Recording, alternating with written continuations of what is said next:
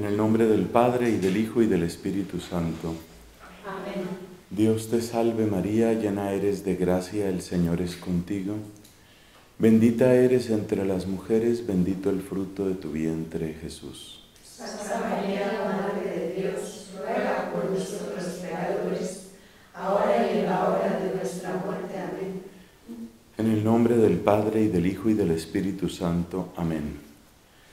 Dentro de nuestro tema de comunidad hemos visto básicamente dos cosas. Primero, que si la comunión y la comunidad tienen su fuente en Jesucristo, entonces la calidad de la vida comunitaria depende de la calidad del encuentro siempre renovado con la persona de Cristo en cada uno de los miembros de la comunidad misma. No se puede construir comunidad de otra manera lo que me puede parecer razonable a mí, pues parece absurdo al otro si no tenemos esa comunión en Cristo. Porque Cristo viene a darle un diccionario nuevo a la vida humana. Entonces, por ejemplo, sufrir, pues es una cosa que hay que evitar a toda costa para unos, pero sufrir, aunque no sea la plenitud, sí puede ser camino a la plenitud desde el punto de vista cristiano. Entonces, así pasa con muchas otras palabras, ¿no? Aceptar, perdonar, ceder, ser humilde. Por, por eso hay esa diferencia y ese contraste tan grande entre la lógica del mundo y la lógica propia de nuestra fe. Hay una, una serie de diferencias bastante grandes que hacen que haya que hablar de que nosotros vamos a contracorriente, vamos en contravía o la expresión que se utilice en cada lugar, porque pues el mundo va en una dirección. El mundo nos dice muchas veces busca el éxito como sea y caiga quien caiga.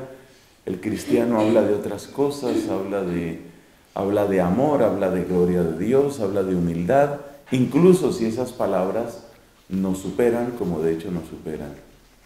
Entonces, ese fue el primer punto, la necesidad del encuentro renovado con Cristo.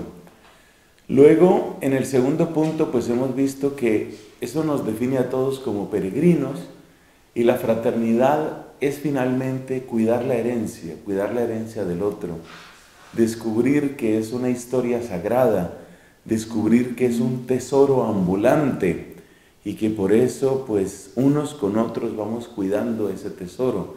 Ya esto sitúa la fraternidad en el plano propiamente teologal.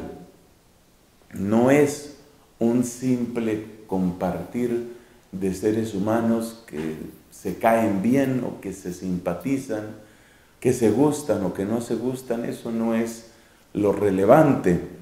A uno le pueden caer muy bien unas personas, otras no tanto, pero eso no es lo que va a definir nuestra vida comunitaria. Terminemos esta sección de comunidad con estas reflexiones sobre radicalidad y convivencia. Es importante mencionar esto porque nuestra vida cristiana nos lanza a esas dos cosas. Nos lanza a ser radicales en el sentido original de la palabra, ¿no? Radical viene de radix en latín, que quiere decir raíz.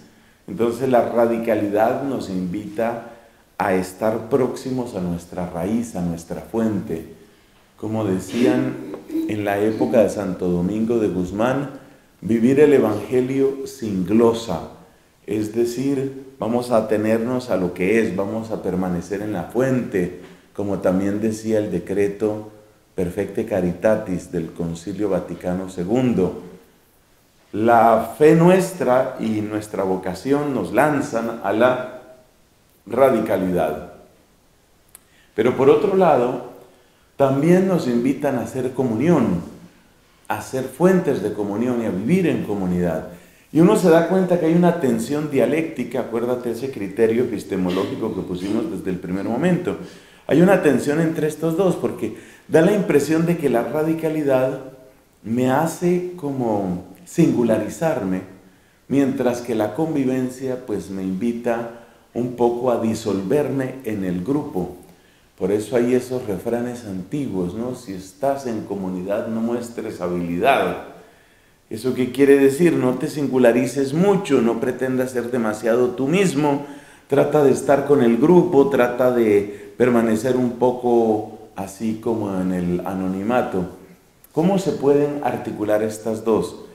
Ese es el tema en el que vamos a entrar para cerrar estas sencillas reflexiones de antropología de la vida consagrada en cuanto a la vida comunitaria. Nos vamos en tres fases. La primera, vamos a hacer una distinción entre tres palabras. Ser original, ser auténtico y ser verdadero. Son palabras que a veces se tratan como si fueran sinónimas, pero no lo son, no lo son completamente. Ser, ser original muchas veces quiere decir una especie de una especie de distinción, de diferencia. Lo original está emparentado, por supuesto, con lo inédito, lo que no ha sucedido. Y una persona que pretenda a toda costa ser original es una persona que intenta a toda costa diferenciarse, distinguirse. Uno se da cuenta que ese no es un valor en sí mismo. Es decir, en algunas cosas puede ser conveniente la originalidad y en otras no. ¿Qué tal que alguien dijera, pues mira, yo voy a ser original? He notado que en este pueblo todo el mundo respira, todos. Yo seré original, voy a dejar de respirar. ¿Por qué? Porque yo soy distinto, todos respiran, pues yo no respiraré. Esa originalidad dura poco tiempo. La persona o se desmaya o se muere y se acabó la originalidad. O sea que la originalidad no es un valor por sí mismo. La originalidad es algo que toma mucha fuerza especialmente en esa etapa de la vida en que estamos conformando nuestra personalidad y sentimos el impulso frecuente, casi permanente, de ser distintos.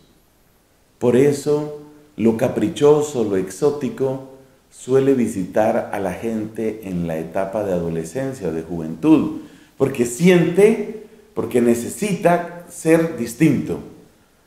Si todo el mundo hace tal o cual cosa, pues yo no lo voy a hacer. Claro que no llegan al extremo de dejar de respirar, por lo menos no por mucho tiempo, pero sí hacen otras cosas. Ese tipo de peinados exóticos, ese tipo de modas o modos de hablar, con mucha frecuencia son expresiones de ese deseo de ser distinto. Por otro lado, hay una originalidad que sí es muy provechosa. Porque la originalidad también es la puerta para lo nuevo. Efectivamente, no todo está hecho en la sociedad. Entonces, cuando uno estudia los orígenes del carisma dominicano, ve que hay muchos elementos que son originales. Y esa novedad que traía la orden de predicadores y la novedad que traían, por ejemplo, las órdenes mendicantes se enfrentó con una gran resistencia. Una gran resistencia, por ejemplo, en la Universidad de París, allá en el siglo XIII, a mediados del siglo XIII, una gran resistencia porque la idea que tenían era, mira, si vais a ser religiosos, pues encerrados en un monasterio, en un convento. Pero eso de que queréis ser religiosos y dar clases y en la universidad y en la iglesia, a ver, una decisión. Es decir, se les estaba pretendiendo exigir a franciscanos y a dominicos que se amoldaran a lo que la iglesia había tenido y había sido hasta ese momento. La originalidad de esa nueva síntesis que proponían las órdenes dominicanas, dominicana y franciscana, pues no era percibida en ese momento. Luego se ve pues que es un bien, es un bien para la iglesia y entonces ya queda como aceptado.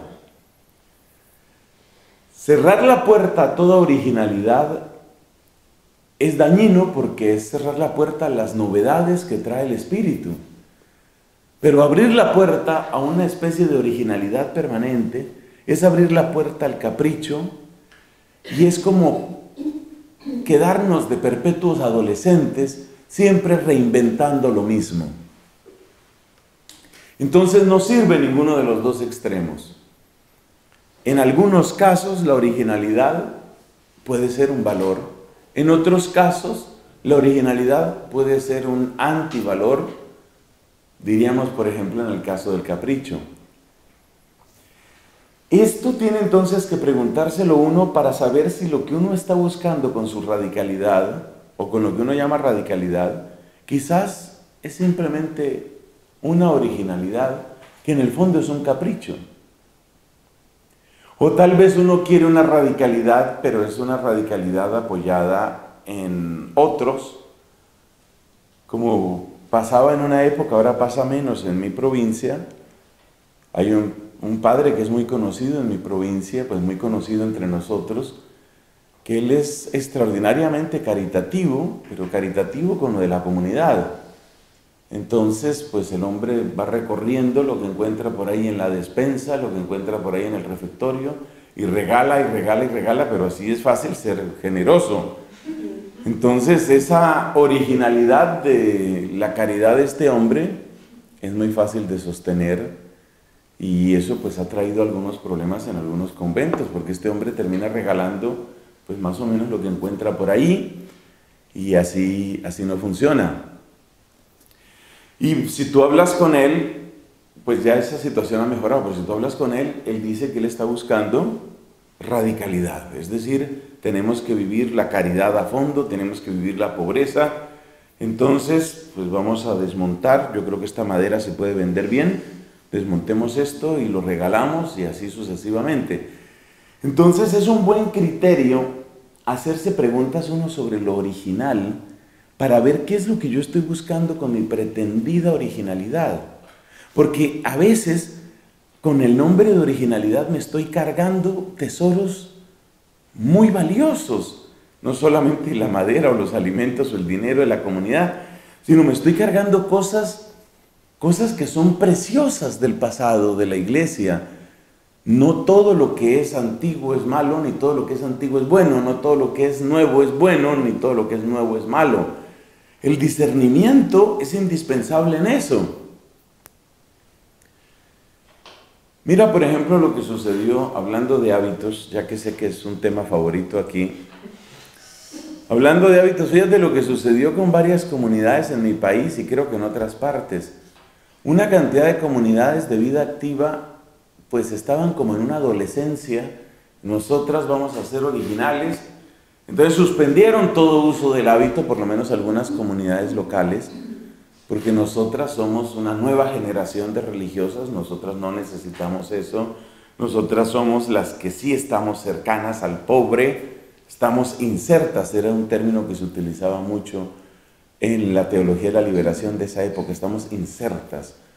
Entonces estamos en medio del pobre, estamos en medio del necesitado, no tenemos que distanciarnos lo nuestro es la proximidad, es la cercanía.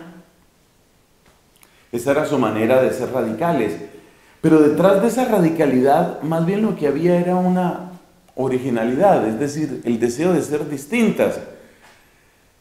Después de 30 años, de 40 años de ese experimento, pues el experimento está llegando a su final, porque resulta que las nuevas vocaciones en esas comunidades o prefieren el uso del hábito o en todo caso no ha habido quien tome el relevo de las que supuestamente eran las profetizas de esa renovación de la vida religiosa. De modo que todas estas que empezaron a vivir su consagración como que el hábito no importa, pues parece que sí importa de alguna manera, porque, porque no hubo continuación para eso. Las que se quitaron el hábito y empezaron a vestirse de particular, no encontraron a quien convencer para que siguiera por esa misma línea. De modo que a medida que se van muriendo, pues se va muriendo también el experimento. Y ahí se acabó. Esto este es un ejemplo que yo considero interesante porque muestra la diferencia entre radicalidad y originalidad. Es decir, realmente, realmente quitarte el hábito te hace más radical, es decir, te hace más próximo a la esencia del Evangelio. Quitarte el hábito te hace más próximo a la esencia del Evangelio, pues por lo que se vio quizás es temprano dar un veredicto, pero por lo que se vio en el caso, repito, de mi país, todas las comunidades que tomaron esas decisiones están retrocediendo o están desapareciendo. O sea, retrocediendo en su decisión y volviendo a utilizar el hábito o desapareciendo porque, porque la última que apague la luz, porque ya eso se acabó. Eso fue exactamente lo mismo que yo vi en Irlanda masivamente en Irlanda, un país que abundó en una época en vocaciones eh, religiosas, femeninas y masculinas, masivamente en Irlanda desapareció completamente el hábito religioso, con algunas pocas excepciones.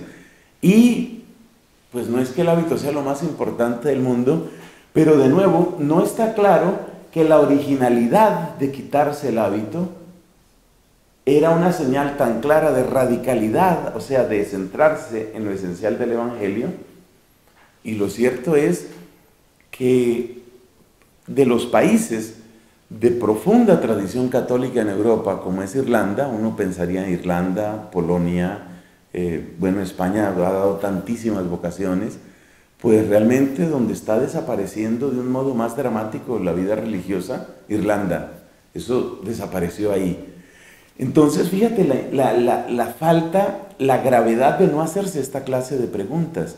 Quizás algo suena muy original y no es radical. Es decir, no me está acercando al centro, al corazón del Evangelio. Otra idea que hubo mucho en mi país era, bueno, si somos una misma familia, dominicos y dominicas, pues entonces vamos a tener una formación conjunta. Y alcanzó a haber como uno o dos años de formación de novicios con novicias y, daban, y tenían materias juntos y estudiaban juntos y no sé cuántas cosas. Y eso tampoco funcionó mucho. Era bastante original, pero no funcionó mucho. Es, es, un poco largo aquí y no es necesario para nuestro tema entrar en detalles. Que yo sepa, no es que se presentaran grandes escándalos, pero eso no producía ni novicias más convencidas, más fervorosas, más cercanas a su vocación, ni tampoco novicios que estuvieran en, una condición así positiva. Repito, no sé de que hubiera pues escándalos, cosas así, que uno dijera, no, pero ¿cómo ha pasado esto? No, pero simplemente no funcionó. Entonces, no siempre lo que se plantea como original es radical. A veces lo que se plantea como original es un empobrecimiento. Muchos sienten que después del Concilio Vaticano II, una gran cantidad de cosas que se plantearon como originales y como interesantes, pues eran pérdidas. El hecho de que tantos, pero tantos, tantos sacerdotes y frailes tengan una formación tan pobre en la lengua latina, ¿Eso nos ha hecho mejores religiosos? ¿Eso nos ha hecho mejores sacerdotes? Idolatrar el latín y decir que solamente se puede hacer misa en latín y solamente se puede estudiar en latín parece una exageración. Pero cuando se planteó como gran novedad y como gran originalidad, porque es que originalidad aquí casi viene a significar novedad, cuando se vino a plantear como gran novedad, vamos a despedirnos del latín, y para muchos eso significaba sepultar el latín, es que desapareció completamente. Eso nos hizo mejores religiosos, eso nos hizo más evangélicos, más próximos a la esencia del Evangelio. Yo no lo creo. Yo no lo creo. Yo creo que la verdadera originalidad siempre toma en serio el bien que he recibido. A mí me parece que un gran criterio nuestro es lo que nos dice el apóstol San Pablo en su primera carta a los Corintios, ¿no? Incluso me lo aprendí en su lengua original, en griego, paredo, cajumen, hokai parelabon. Os transmití lo que yo recibí. Entonces el criterio para toda originalidad, y con eso vamos cerrando este primer punto, es, tengo plena conciencia de la riqueza de lo que he recibido y lo que yo pretendo aportar hace que eso que he recibido, acuérdate la herencia de la que hablábamos en nuestra sesión anterior, pues apliquémosle eso también a la comunidad. Eso que yo considero novedad, que yo considero originalidad, enriquece, realza, hace más próximo, más útil eso que he recibido. Mire, si ese criterio se hubiera tomado después del Concilio Vaticano II, nos hubiéramos ahorrado miles de pérdidas en vocaciones de hombres y de mujeres, si se hubiera tomado claramente ese criterio. Yo no le echo la culpa al concilio, tengo en gran estima y valoro inmensamente lo que nos dio el Concilio Vaticano II. Para mí el problema no es el concilio, el problema es que terminado el concilio faltaron esta clase de claridades, estas claridades faltaron para no caer en esos infantilismos. Entonces se empezó a creer que ahora, después del concilio, pues como ya se puede en lengua vernácula, eliminemos latín. Que no, la idea no era cancelar el pasado para afirmar el presente. En la Iglesia Católica siempre el criterio será lo que hemos recibido, cómo crece de modo orgánico. Por eso es aquel famoso dominico tenía una, esa obra, debo recordar su autor, La evolución homogénea del dogma católico. Es decir, en la Iglesia Católica las cosas no están congeladas e inamovibles, hay espacio para crecimiento. Pero el crecimiento de un árbol de naranjas no es volverse una mata de plátano. El crecimiento de una mata de manzanas no es volverse una vid. La manzana crece, o el árbol de manzanas crece para ser más grande árbol de manzanas, mejor árbol de manzanas no para volverse otra cosa. Entonces esto es muy importante, porque especialmente en nuestra juventud la originalidad por la originalidad, la novedad por la novedad puede tentarnos, puede convertirse como en que nosotros somos la nueva generación y nosotros no repetimos el pasado. Pues eso en sí mismo no sabemos si es bueno o es malo. Hay cosas del pasado que no hay que repetir, ¿de acuerdo? Pero hay tesoros y tesoros y tesoros del pasado que sí merecen nuestra escucha, nuestro aprendizaje, nuestra valoración y nuestro cultivo.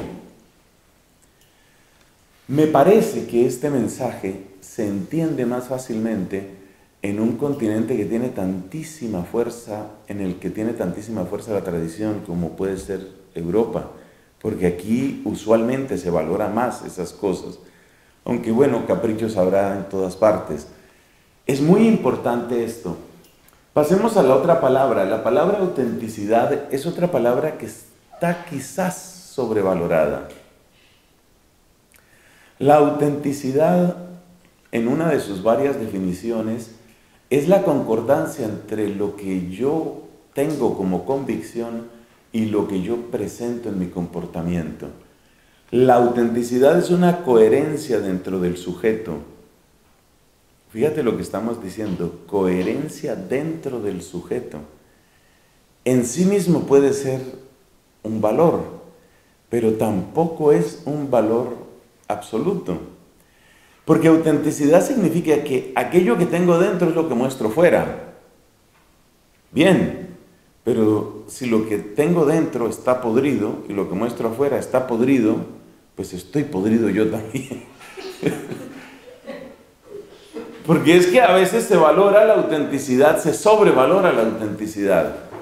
Entonces, bueno, yo soy una persona auténtica, yo al que le tenga que decir tres o cuatro plevedades, se las digo porque yo soy auténtico.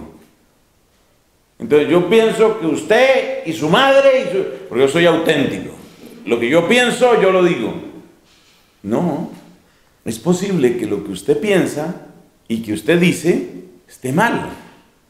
Es decir, la sola autenticidad no es garantía de que usted esté en lo correcto. Eh, eh, a, lo que voy con estos puntos es a que lleguemos a una verdadera definición de lo que es radicalidad.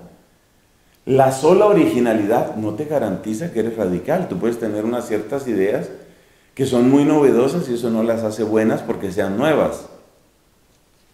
Tú puedes tener una gran autenticidad en el sentido de que lo que tú tienes dentro es lo que muestras fuera.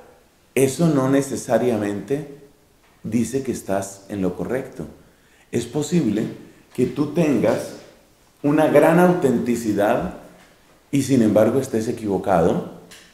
Una persona puede estar totalmente convencida en lo más profundo de su ser, hasta donde ha llegado a pensar las cosas, está profundamente convencido de que lo mejor es aprobar y difundir el aborto como derecho reproductivo de la mujer. Esa es la convicción profunda que tiene. Y como tiene esa convicción profunda, pues cuando hay una marcha abortista, pues sale a las calles a decir aborto gratuito y libre ya, porque esa es la convicción que tiene.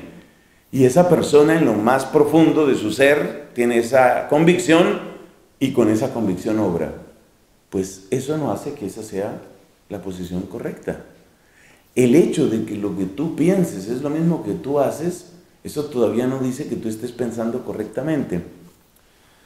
Quien quiera profundizar en estos temas, sobre todo en lo de autenticidad y verdad, vaya por favor a la encíclica Veritatis Splendor del Papa Juan Pablo II, promulgada en 1993, porque uno de los propósitos de esa encíclica es buscar criterios del obrar humano, es decir, cuáles han de ser los fundamentos de una moralidad que sea al mismo tiempo razonable y fiel al pensamiento de la iglesia. Entonces, una de las cosas interesantes que aporta Veritatis Splendor es esta distinción. El hecho de que tú seas auténtico todavía no te hace correcto. Tú puedes ser muy auténtico en tu postura y eso no quiere decir que tu postura sea, sea la postura correcta. Entonces, finalmente a qué llegamos? A que la originalidad tiene valor si dimana de la verdad. La autenticidad tiene valor si dimana de la verdad. Entonces es la pregunta por lo verdadero, es la pregunta por lo correcto, esa es la pregunta que le da valor a mi originalidad. Si quiero hacer las cosas de otro modo, bueno, ¿cuál es la razón? ¿Cuál es el motivo? ¿Cuál es la verdad que tu nuevo comportamiento va a traer? Eso no hay que darlo por descontado. Eso tienes que mostrarlo. En el caso de un Santo Domingo, en el caso de un San Francisco, había una gran novedad, tremenda novedad, pero esa gran novedad se mostró con las palabras y con los hechos, se mostró como un enriquecimiento dentro de la iglesia. No estamos quitando, estamos sumando. Hay otras originalidades que sin embargo pues son pérdidas. Así por ejemplo, más o menos por esta misma época está esa idea que tenía un hombre llamado Joaquín de Fiori que decía que había llegado la era del Espíritu Santo. El Antiguo Testamento es la era del Padre, el Nuevo Testamento es la era del Hijo y ahora, señoras, señores, ha llegado la era del Espíritu Santo. De modo que argumentaba Joaquín de Fiori. De modo que, así como la ley de Moisés ya no tiene validez en el Nuevo Testamento, es decir, lo que era válido en la era del Padre ya no es válido en la era del Hijo, de la misma manera, lo que parecía válido en el Nuevo Testamento, en la era del Hijo, pues ya no es válido en la era del Espíritu. Estamos en la era del Espíritu Santo y ya hay muchas cosas y ya no son válidas. Ya, ya eso ha quedado desueto, está superado. Esas ideas resurgieron unos siglos después. Este hombre es como siglo XI, siglo XII, Joaquín de Fiori. Luego esas ideas volvieron a surgir un poco después. Una herejía que tuvo mucha fuerza en esta querida España fue el quietismo. Siglo XVII, no sé si hasta el XVIII, y una de las ideas que tenían los quietistas era más o menos lo mismo, de la era del espíritu.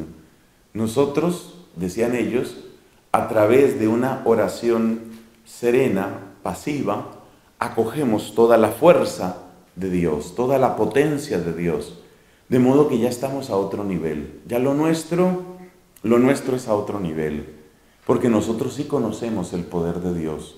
Nosotros hemos llegado a la oración de quietud, esta es una de las razones por las que Teresa de Jesús fue interrogada por la Inquisición porque ella también hablaba de una oración de quietud.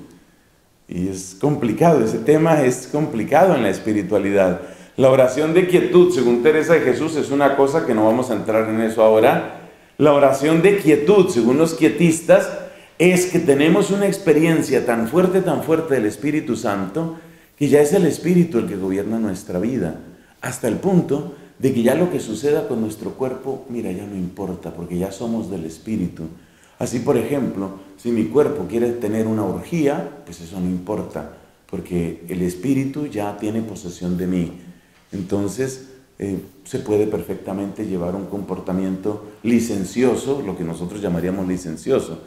Y ellos eran muy qué? Muy originales. Era una interpretación bastante, bastante original de la vida contemplativa a comienzos del, finales del siglo XIX y comienzos del siglo XX, vuelve a surgir la misma idea. O sea que la novedad también se repite, ¿no? vuelve a surgir la misma idea, esta vez dentro de los ortodoxos. El famoso personaje, el monje loco, como lo llaman algunos, Rasputín, Rasputín tenía esa idea.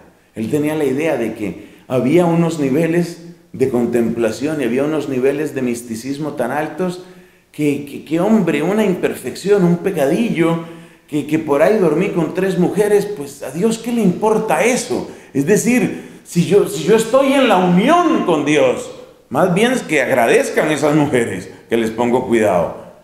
Ese era Rasputín. Entonces Rasputín llevaba una vida de alcohólico y de mujeriego y a la vez era consejero de la corte del zar. Una, cosa loca, realmente en esta, en esta vida ha habido de todo.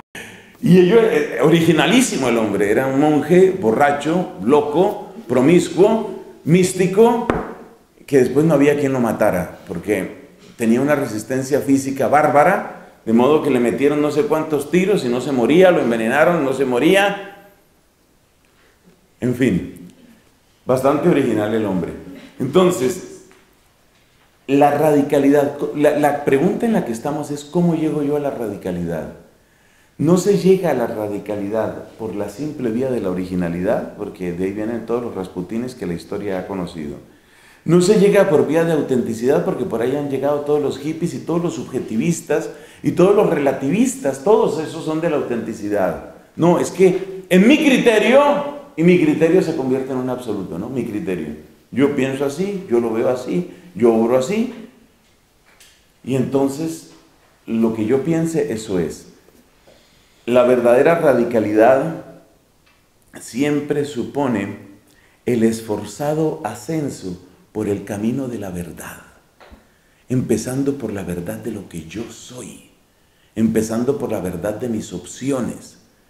Es decir, no basta el hecho de que yo soy distinto, le hace original, no basta el hecho de que yo soy auténtico, yo soy el mismo en todas partes, eso tampoco basta. Siempre se necesita el penoso ascenso por la cuesta de la verdad. ¿Y dónde encontramos esa verdad? El gran criterio lo ofrece la primera carta de Juan. El que dice que está con Cristo debe andar como Él anduvo. Es decir, la vida misma de Cristo, la perpetua donación de sí mismo en la búsqueda de la gloria del Padre y del amor que construye un bien en el prójimo. Ese es criterio para nosotros. Luego, no somos los fundadores de la iglesia. La iglesia ya tiene su fundación en Cristo y en los apóstoles. Entonces, debo leer lo que yo soy y lo que yo quiero ser, debo leerlo a partir de toda una tradición que incluye no solo teólogos y pastores, sino también y sobre todo los santos. El criterio de los santos, la santidad, es muy importante por eso, por ejemplo, por eso, por ejemplo, hay eh, normas de discernimiento que utiliza la iglesia en asuntos sobrenaturales. Son tantos los estafadores que ha habido con asuntos de apariciones y con asuntos de mensajes y con asuntos de visiones. Es decir, el mundo sobrenatural ha dado para tanto, pero tanto en términos de estafas y manipulaciones, que la iglesia ya ha aprendido como criterio, hay que ver si el visionario tiene otro tipo de intereses, por ejemplo, intereses económicos.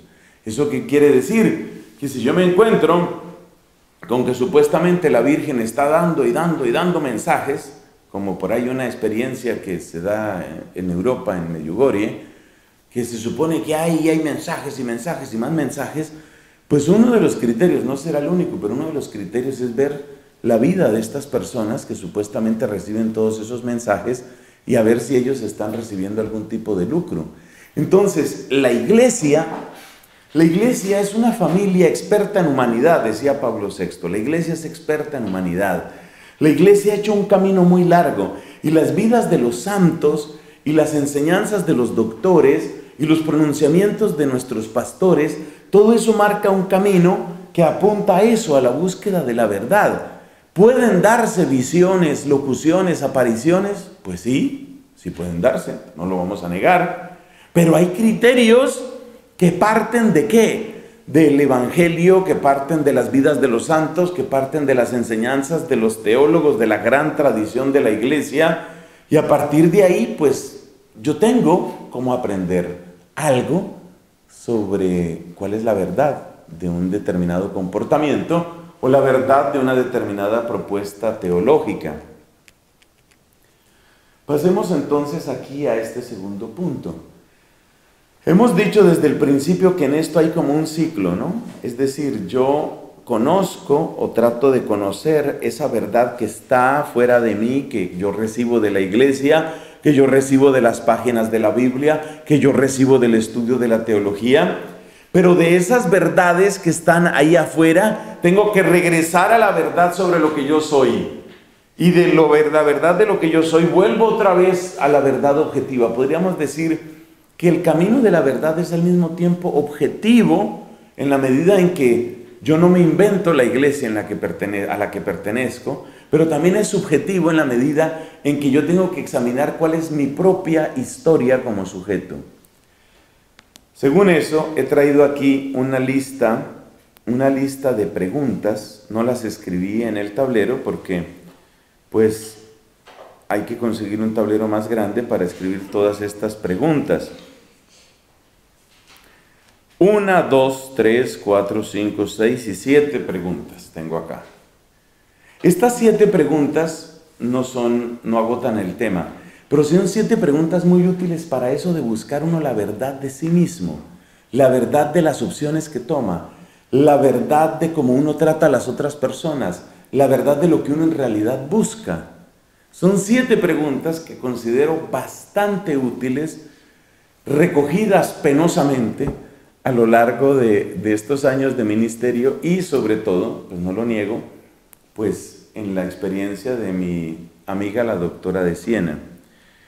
Primera pregunta, ¿qué dolores, miedos o carencias llevo conmigo a todas partes? Es decir, es una primera pregunta que trata de examinar el mundo de condicionamientos que tal vez están influyendo sobre mí. ¿Qué dolores, miedos o carencias llevo conmigo a todas partes?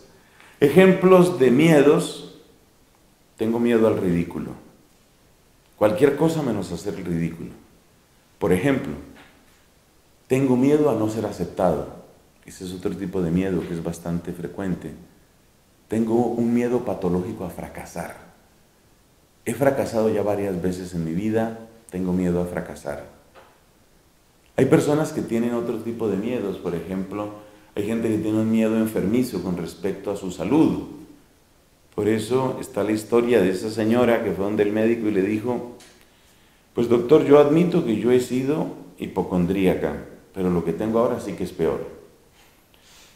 Entonces, ¿qué miedos, qué miedos hay conmigo? ¿Qué miedos me acompañan? Porque los miedos lo condicionan a uno. Tengo miedo a ser rechazado significa que, que no soy libre, que no me muestro como soy, que me estoy escondiendo todo el tiempo, porque creo que si me muestro como soy me van a rechazar. Entonces, examinar los miedos, y esta es solo la primera pregunta, ¿no? Miedos, ¿qué miedos luego sigue? qué dolores, los dolores lo marcan a uno enormemente, sobre todo en lo que tiene que ver con la afectividad, un rechazo, un abuso en la infancia, una violación, una traición en el amor, una traición en la amistad, tienen un efecto devastador que a veces dura años y años. Y el problema de estas heridas, que son heridas emocionales, que son heridas em, psicológicas, el problema es que esas no se ven. Uno le ve la cara a la gente y la ve más o menos lisa, ¿sí? Se le ve su carita lisa. No se le nota la herida, pero por dentro la persona está sangrando y no se le nota, está rota por dentro. Como, como decían por ahí en una conversación, la persona está rota por dentro, eso, eso pasa, eso pasa. Una persona que sufre una traición, como me pasó en una convivencia con un grupo de chicas de grado como octavo, o sea, como en la mitad de su secundaria, y había varios casos ahí de muchachas que, bueno, con una gran soledad porque los papás nunca tienen tiempo para ellas porque están trabajando y haciendo montañas de dinero. Entonces, varias de estas chicas tienen la característica de que la persona en la que más han confiado en la vida, pues es alguna de sus amiguitas de colegio. Y luego cuando una de esas amigas falla, pero, pero si yo te dije que no dijeras eso, si, eso era solamente para ti, ¿por qué me fallaste? Esa sensación de que me han traicionado, esa sensación de que, de que me han fallado es terrible. Y eso muchas veces marca con una nube de pesimismo, de amargura la vida de la gente. Estas preguntas y otras que van a ir saliendo, porque son siete y estamos solo en la primera, estas preguntas son una de las razones por las que yo le tengo tanto afecto a la renovación carismática después de tantos años de haber salido visiblemente, pues, o externamente de ese movimiento. Yo sigo muy en contacto con la renovación carismática porque es ahí donde veo que predican mucho esto. Y esto es bien importante porque, porque es que la gente necesita sanación. Si a mí me preguntaran, después de ser promotor vocacional, que ya me nombren, por ejemplo, maestro, si a mí me preguntaran, una de las cosas por las que, que sería motivo continuo de mi oración es este tema de la sanación. Porque para mí uno de los principales problemas de los religiosos y religiosas es que no estamos sanos. Así como se oye, no estamos sanos. La gente tiene traiciones, tiene malas experiencias, tiene miedos, tiene complejos y, simplemente va echando para adelante, va tirando, va tirando, pero, pero, pero va cargando todo eso que trae. Entonces estas preguntas son importantes. ¿Qué dolores, miedos o carencias las carencias son terribles y cada vez esto va a ser peor. A medida que la familia se va descoyuntando y se va descuadernando, las carencias son peores. Carencias, falta de papá, de un papá verdadero, de un papá real, carencias de una mamá, carencias de hermanos. Muchas parejas de un modo absolutamente irresponsable dicen, bueno, pues nosotros tendremos uno, si acaso dos. Y llegan a pensar que eso es un bien para esa criatura. Yo lo que estoy viendo es que en esos grandes edificios de apartamentos donde están las parejas jóvenes, yo como que miro con la vista de rayos X de Superman y yo miro un niño solo, otro niño solo, una niña sola, otro niño, otra niña sola, en cada uno de esos cajones hay un niño solo. Y, para mí eso es terrible, es terrible. ¿Por qué? Porque esos niños que crecen solamente acompañados por pantallas, acompañados por juegos electrónicos, encerrados en esas cajas, esos niños tienen todos los ingredientes para luego una cantidad de problemas más adelante. Porque si tu mundo ha sido de esa soledad, en esas circunstancias, yo reconozco que hay casos en que, bueno, no hubo más hijos o lo que fuera, pero si tu mundo ha sido de esa soledad, es un grave problema porque tú te has acostumbrado a que todo gire en torno a ti. Muchos de esos niños que son hijos únicos, en esas circunstancias, insisto, muchos de esos niños se han acostumbrado a que sus deseos son la ley de la casa. Y bueno, cuando ese niño se vuelve un adulto, y cuando ese niño se va a casar, ¿qué tipo de esposo va a ser? ¿Qué tipo de esposa va a ser? ¿Qué tipo de mamá va a ser? Una niña que durante 16 años, 17, 18 años, ha vivido únicamente en el centro y todo gira en torno a ella y las vacaciones son como ella quiera y los regalos son los que ella pida. Esa niña cuando se casa, a los 25 o a la edad que sea, ¿qué idea tiene de ser mamá? ¿Qué idea tiene de ser esposa? Entonces, esto es para destacar el problema de la carencia de hermanos. Las familias numerosas, eso lo digo yo abiertamente, las familias numerosas son el mejor ambiente y la mejor escuela de humanidad. Porque en una familia numerosa, numerosa significa deseablemente más de dos hijos, con responsabilidad, se entiende. Pero en una familia numerosa yo aprendo que existen otros seres humanos, aprendo que hay que compartir, aprendo que no soy el centro del universo, aprendo que hay que perdonar, aprendo que otros tienen atención hacia mí y yo tengo atención y yo debo cuidar también a los que siguen. Es muchísimo lo que se aprende en una familia numerosa. Entonces, fíjate todas las carencias que suele tener la gente, carencias de papá, carencias de mamá, carencias de hermanos, carencias de familia extensa. Es lo mismo crecer con abuelos que crecer sin abuelos. Es lo mismo crecer sin tener ninguna persona mayor en mi entorno yo le doy gracias a Dios que yo alcancé a conocer a tres de mis abuelos. Entonces, por ejemplo, mi abuela materna era una persona que tenía grandes limitaciones porque había tenido un par de accidentes cerebrovasculares, lo que la gente llama embolias o derrames cerebrales. Ella tenía una gran limitación en su expresión, sobre todo al final de su vida, en su movilidad. Pero yo de niño que vi yo vi el respeto, el cariño, la dulzura con que se trataba a esa señora, cómo ella tenía derecho a existir y cómo se le trataba con dignidad, con afecto, y lo que ella podía enseñarnos lo recibíamos. Mira, esa es una lección de humanidad, pero grandísima que me han dado. Las carencias, no es lo mismo crecer solos que crecer con hermanos, no es lo mismo crecer con mamá que sin mamá, no es lo mismo crecer. Y el tema está en que cuando uno llega, por ejemplo, a una vida religiosa, pues uno llega como llega. Uno llega con lo que ha tenido y uno llega con lo que no ha tenido. Y a partir de ahí habrá que construir. Pero ¿qué es lo mínimo que se necesita? Por favor, toma conciencia de cuáles han sido tus, las tuyas, tus carencias. ¿Qué es lo que a ti te ha faltado? Entonces, esa es la primera pregunta. ¿Qué dolores, miedos o carencias llevo conmigo a todas partes? Si uno pudiera dedicar, sobre todo el comienzo de su vida religiosa, de un modo orgánico, no se trata pues de que de cada charla el novicio salga llorando, yo por qué vine a este mundo. no, se trata, se trata de tomar conciencia, pero acuérdate del gran principio que nos da Catalina de Siena, nunca desciendas a estos sótanos sin Cristo.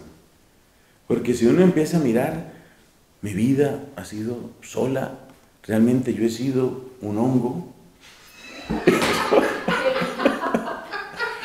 yo nunca, nunca tuve a nadie.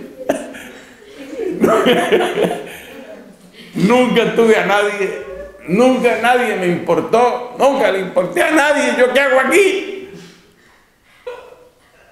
Con Cristo. Pero hay que hacer conciencia de esto. Hay que hacer conciencia de esto, porque si yo caigo en cuenta, oye, realmente a mí me faltó papá, porque el papá que yo tuve fue solamente un proveedor de dinero y de bienes. ¿Qué quiere decir eso? Que muy posiblemente si yo entro a la vida religiosa, pues voy a buscar un papá. A ver, ¿será que usted me adopta? Porque me ha faltado papá, así de sencillo. Entonces es muy importante tomar conciencia de esto. Segunda pregunta. Segunda pregunta. ¿Hay en mí el deseo de desquitarme? De desquitarme de algo que me faltó. Esto yo empecé a observarlo en una gran cantidad de sacerdotes, diocesanos y religiosos me da lo mismo en mi país. Hablo de Colombia.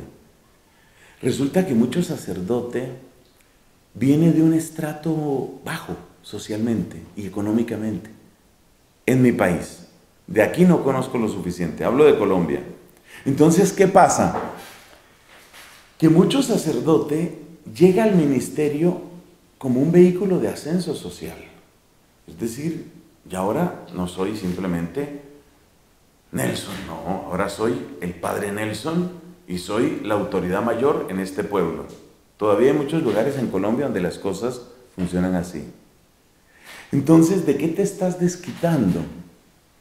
Hay gente que se desquita de las carencias de su infancia, pues a base de las ganancias, el lucro, las ventajas, el dinero que consigue. Hay algo de lo que te estés desquitando. Ya San Agustín habla de esto. Acuérdate que en la regla él habla de este tema. Él habla de cómo algunos llegan al monasterio a, conseguir lo que no tuvieron o lo que hubiera sido muy difícil conseguir afuera. Por eso es muy importante tomar conciencia de esto. Lo más visible es en el caso del dinero, pero hay otros ejemplos. Quizás nadie me daba importancia a mí. Acuérdate el caso de ese muchacho que fue donde el doctor y le dice, doctor, nadie me pone cuidado. El doctor dice, el siguiente. Entonces, entonces el desquitarse, el desquitarse. ¿Qué es desquitarse? Buscar como una compensación en la vida. A veces uno está buscando compensaciones en la vida. Y esas compensaciones son peligrosas. Si tú estás buscando la atención que no tenías, la compañía que no tenías, incluso los bienes materiales que no tenías, ¿te estás desquitando de algo? ¿Qué, ¿Qué, fue lo que más faltó? En tu infancia, ¿qué fue lo que más faltó? Mire, ¿sabe lo que nos está pasando? Habla así, estamos entre hermanos. Al fin y al cabo, pues esto no lo va a saber nadie sino internet, ¿no? Pero mira, ¿sabes lo que, lo, lo que he visto yo que pasa en algunas comunidades religiosas? que la gente trae como una, pues eso, una carencia, un deseo de desquitarse, y, y, entonces tengo que estudiar tal o cual carrera. Nosotros tuvimos, por ejemplo, un fraile que sentía la urgencia de estudiar telecomunicaciones. Tengo que estudiar telecomunicaciones porque, bueno, siempre quise estudiar telecomunicaciones y llegó quien me pague la carrera de telecomunicaciones, que es la provincia dominicana de Colombia. Entonces, a ver, te estás desquitando de algo. ¿Qué fue lo que te faltó? ¿Qué deudas crees tú que el pasado tiene contigo? Esa es la pregunta, ¿no? ¿Qué deudas tiene el pasado contigo? Si estas preguntas uno se las aprende a hacer desde joven, uno aprende a ser mucho más honesto con uno mismo, con la comunidad y con la iglesia. Tercera pregunta, parecida a la anterior. ¿Llevo en mí la intención quizá inconsciente de demostrarle algo a alguien? Porque de eso también existe mucho. Sobre todo cuando uno en tempranas épocas de la vida se ha enfrentado con un papá que no cree en lo que uno quiere hacer, una mamá que lo menosprecia, hermanos, amigos, compañeros de clase. Hoy se habla mucho de bullying, ¿no? Y ese bullying, que en mi país se traduce con una palabra, no lo he oído en otros países, en Colombia eso se traduce por matoneo. Matoneo es la violencia entre iguales, o sea, el bullying, ¿no? Bueno, el matoneo a veces hace que nadie creyó nunca en mí, entonces yo tengo que demostrar. Pero cuando uno está obrando por demostrarle algo a alguien que incluso ya puede haberse muerto, porque así de, loco es el ser humano, cuando uno está tratando de demostrarle algo a alguien, uno no es libre en realidad. Yo he visto gente que completa una carrera universitaria solo por demostrarle a mi papá que yo sí podía hacerlo. Pues qué tanta libertad hay ahí, o sea, no lo haces porque esa sea tu verdadera opción, porque esa sea tu, tu verdadera vocación, sino porque estás demostrando. En, los años de vida religiosa, ya tengo un poco más de 30 años en, en los dominicos, y, en estos años yo he conocido por lo menos dos personas que estaban en la vida religiosa, se terminaron saliendo, porque las expectativas de la familia eran, eran que sí, como dicen, la vocación era de la mamá, la vocación era de una tía, y entonces yo conocí un caso, yo tuve entre mis alumnos uno de los más brillantes que yo tuve, qué hombre tan inteligente, es decir, en calificaciones, en la parte académica, pero muy sobresaliente, con un problema, y es que él no quería ser religioso. Lo que sucede es que la familia había tenido un proceso de conversión, los papás habían estado, no sé si era en el camino neocatecumenal, o habían estado en, alguno, o en algún movimiento así fuerte, cursillos de cristiandad, alguna cosa, y los papás se habían, habían tenido la conversión del siglo, y los papás estaban convencidos de que no hay nada mejor que tener un hijo sacerdote, y entonces, de un modo quizás inconsciente para ellos, empezaron a presionar y a presionar y a presionar, y a este muchachito lo fueron llevando, llevando, y un día resultó con un hábito, y eso era la gran alegría, hijo, qué alegría. Y empieza toda una manipulación emocional de la mamá, sobre todo de la mamá, una manipulación emocional pero tremenda. Porque el sueño, Dios por fin, por fin me concedió. Así como hay mamás que se oponen, ¿no? Eso también sucede. Pero en este caso era la mamá que era la gran realización de ella. Y el día que estés en el altar, yo voy a ser la mamá más feliz del mundo, pero qué gozo verte así. Y claro, todo eso se iba convirtiendo dentro de él, él iba introyectando eso, él iba metiendo eso en su cabeza y finalmente la vocación no era de él. De modo que cuando la mamá dejaba de felicitarlo y aplaudirlo y decirle que eso era muy importante para ella, él, él no se sentía ni bien, ni feliz, ni realizado, ni sereno. Él se sentía mal porque la vocación no era suya. O sea, él estaba ahí para demostrarle algo a alguien sientes que le tienes que demostrar algo a alguien. A veces hay casos muy chistosos. Yo conocí una religiosa de, otra comunidad, esa no era de clausura, que había tenido unas peleas, pero terribles, con un novio, ¿no? Y ella había entrado religiosa, pero parte de su entrada en el convento era una especie de desquite como quien dice, pues yo le voy a mostrar que yo sí valgo, que yo sí puedo, que yo sí soy. Esa tampoco perseveró.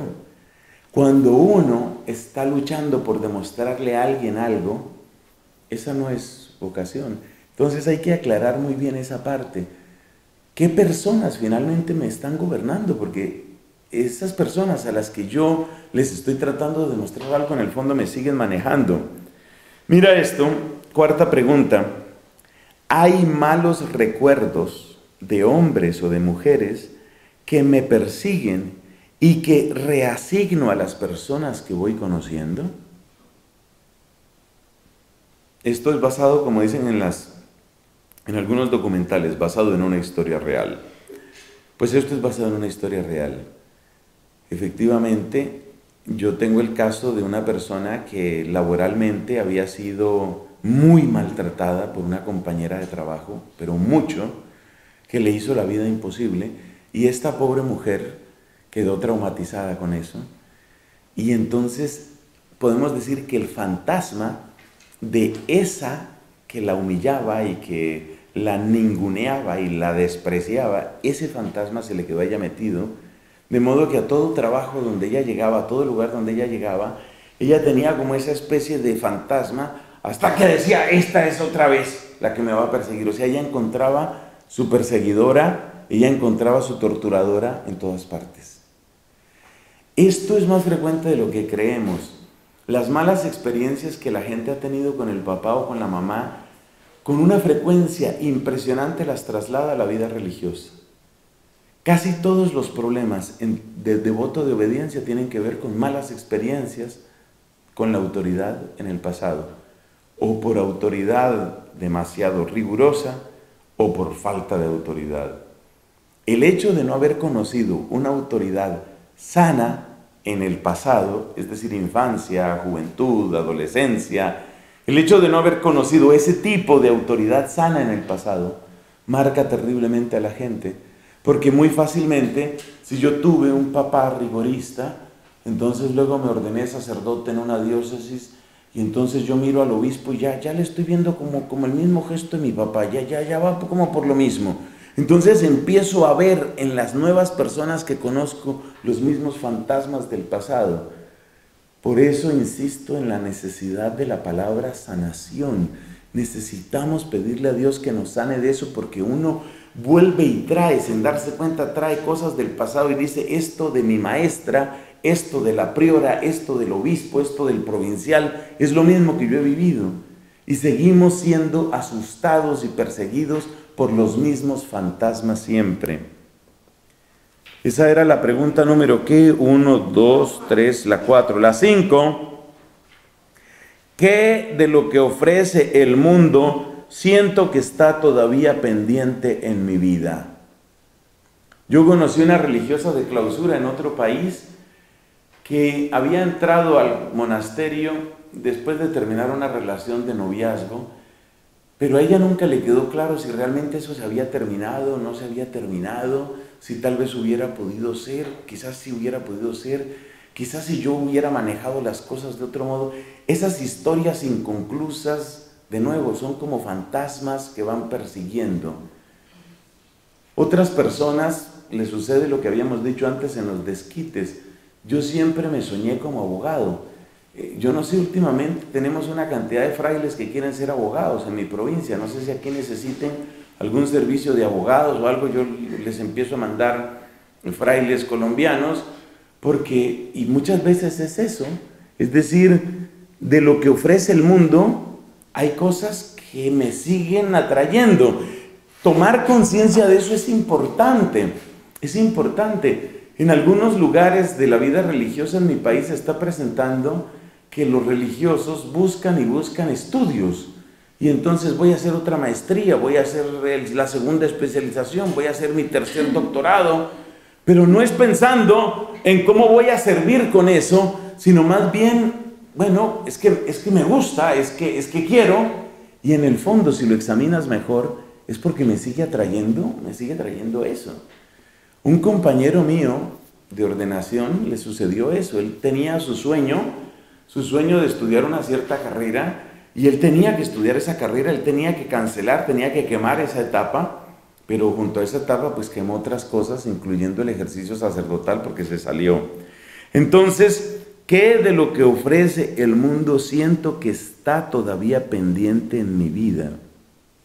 Sexta pregunta. ¿Qué expectativas de otras personas afectan mis decisiones? El enunciado más largo es, ¿qué expectativas por parte de familiares o amigos importantes para mí sobre el éxito, lucro o reconocimiento que se supone que yo merezco están afectando mi modo de tomar decisiones? Es un desastre lo que está pasando en la vida religiosa activa en Colombia y creo que en otras partes, porque claro, las hermanas de esas comunidades necesitan cualificar profesionalmente pues, a los miembros de su comunidad. Pero entonces, ¿qué está pasando?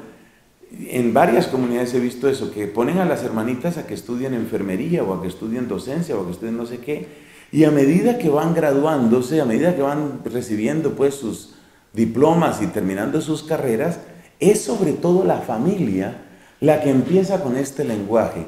Pero qué tonta, Ahora le vas a trabajar tú a esas viejas, ese es el lenguaje que utilizan. Ahora le vas a trabajar tú a esas viejas. ¿Y, para ti qué? ¿Y tú que eres la que se ha esforzado y tú que eres la que ha trabajado, para ti qué? Ese lenguaje lo van a manejar, sin duda, algunos de nuestros amigos o parientes, excepto ya cuando uno va envejeciendo, ¿no? Ya cuando uno va envejeciendo, más bien dice, mira, más bien que allá te cuiden, allá, allá ya no quieren que uno se salga, ¿no? Yo creo que ya a estas alturas, ya en mi familia ya no quieren que yo me salga, sino más bien de aquí en adelante los problemas que vengan de riñones, los problemas que vengan de diabetes, los problemas, el Parkinson que venga, ese que te lo cuiden allá. Pero cuando todavía se está en edad de merecer, cuando todavía, cuando todavía la persona es productiva, ahí rondan como moscas ronda la familia, ¿no? Rondan familia y amigos, mira, no seas tonto, pero, pero tú qué haces allá, pero no te das cuenta. Y, y si esas expectativas de esas personas tienen peso en mí, eso se va convirtiendo en un ruido, y un ruido, y un ruido. Y ese ruido ha sacado muchísima gente. Yo he tenido la alegría, digo yo, de ser amigo de varias provinciales y de varias generales de algunas comunidades en mi país y el sufrimiento de estas pobres religiosas es terrible, porque ya saben que tienen que preparar a su gente, pero el precio que, que les cobran es altísimo porque tienen que pagarle todos esos estudios a una universidad y luego la hermanita, no, parece que, no sé, yo recibí ese diploma y se me fue como apagando, apagando la vocación, no sé, creo que ya yo soy otra cosa. Por eso hay que preguntarse cuáles son las expectativas de otras personas que tienen peso sobre mí. Y la última, que es muy interesante en términos de comunidad, es cuáles de estas preguntas, de las seis anteriores, podría yo responder de mis hermanos o en el caso vuestro de mis hermanas. Es decir, que tanto nos conocemos a este nivel, que es, que es un nivel bastante profundo, ¿qué tanto nos conocemos a ese nivel? Porque es que a veces nosotros mismos no nos conocemos, a veces mismos no sabemos que estas realidades se están dando en nuestra propia casa, y luego vienen las sorpresas, pues yo no, yo no me hubiera podido imaginar eso, nunca en la vida. Qué interesante evaluar qué tanto nos conocemos en estos niveles profundos, que son los niveles de la historia de vida, que son los niveles de la vocación, que son los niveles de las decisiones existenciales. Obviamente uno no va a tener la misma confianza con todo el mundo, pero es que es anormal lo que está pasando que vivimos a veces como verdaderos extraños y simplemente llegan las sorpresas. No, si supiste, pues que se va. Dice ahora que se va. Pero ¿cómo así que se va? No, eso dijo. Que, no, que no se halla, que no le ve sentido a esto, que se va. Y nadie se lo explica. Eso no puede seguir pasando. Eso quiere decir que en nuestras comunidades, aunque repito, los niveles de confianza cambiarán en uno y en otro caso, pero en nuestras comunidades tenemos que esforzarnos por pasar ir más allá de hablar del clima, ¿no? Y de quién va a ganar la Eurocopa y de, y de, yo no sé de qué temas hablarán aquí, porque entre hombres se habla mucho de fútbol y de política, me imagino que vosotras hablaréis de otro tipo de cosas, pero pues las preguntas o la comunicación tiene que pasar ese nivel tan elemental en el que a veces nos quedamos y es necesario aprender a conocernos en esto. Decíamos en nuestra charla pasada es necesario aprender a cuidar el tesoro de la otra persona. Entonces, a medida que yo voy conociendo que mi hermana, mi hermana tiene, tiene sus dificultades, no la veo bien, no la veo sólida, porque veo que depende demasiado, se desestabiliza completamente cada vez que habla con la familia, como esta de clausura que se retiró, pobrecilla, por la, el tema ese del novio, cada vez que hablaba con el novio, otra vez se le desarmaba a todo el mundo. ¿Cómo? Bueno, por eso, porque ella estaba en que, en que sí, en que no, en que, en que casi, en que, en que de qué me estoy perdiendo. ¿De qué me estoy perdiendo? Esa es otra manera de enunciar esa pregunta. ¿Qué del mundo todavía me tienta? ¿De qué me estoy perdiendo? Entonces, necesitamos que nuestras comunidades vayan más allá de eso más allá de la superficialidad. Necesitamos saber que este es un combate. Necesitamos saber que tenemos que cuidar entre todos el tesoro de todos. Necesitamos saber que evidentemente el mundo, el demonio y la carne nos arrancan estos tesoros que le han costado tanto a Cristo. Y por eso necesitamos encontrar el balance entre esconderse e imponerse. Si bien estamos de acuerdo en que imponerse no es una opción, es decir, pretender que todo el mundo o que todo el convento gire en torno a mí es ridículo. No se trata de imponerse, pero tampoco de esconderse. Es necesario saber encontrar el punto, sobre todo, sobre todo con nuestros formadores. No porque estén aquí presentes las hermanas formadoras, pero yo sí considero que es vital esto, una gran transparencia. Mira, realmente mis miedos son estos. Quiero que sepas, ayúdame, me siento bastante tentada en este campo, me siento descompensada en esto otro, tal vez lo que me pasa es esto. Ese diálogo, ese diálogo abierto es indispensable. Cuando hablemos de castidad, que es nuestro siguiente tema, una de las cosas que vamos a mencionar es el peligro de la gente que quiere que la adivinen, ¿no? Y es una tentación que a veces tenemos, como descifrenme. A ver, ¿quién me puede descifrar? A ver, descifrenme. ¿Qué creen ustedes? Mi invitación es no juguemos ese juego. No juguemos el juego de descifrenme o descifradme, no juguemos ese juego. Lo mejor es, si hay necesidad, si hay un problema, si hay una tentación, levanta la mano, pide ayuda. Seguro, seguro que un problema tratado a tiempo es solucionable. Busca cuál es el punto. No es necesario que te impongas, no tienes que ser la estrella ni la protagonista, pero por favor tampoco esconderte. Solamente en ese balance llegamos a ser verdaderamente hermanos y solamente en ese balance aprendemos a proteger entre todos el tesoro que Dios nos ha dado. Bueno, los ejemplos que he dado aquí, siempre cambiando los nombres para proteger a los inocentes, los ejemplos que he dado aquí son solamente ilustrativos, pero esa lista de preguntas, esa lista de las siete preguntas, considero que es interesante para reflexión posterior. Conviene volver sobre esas preguntas Conviene hacerse esas preguntas. Conviene hacer el ejercicio de buscar esa verdad que allí mencionábamos. Conviene. Conviene hacer ese ejercicio.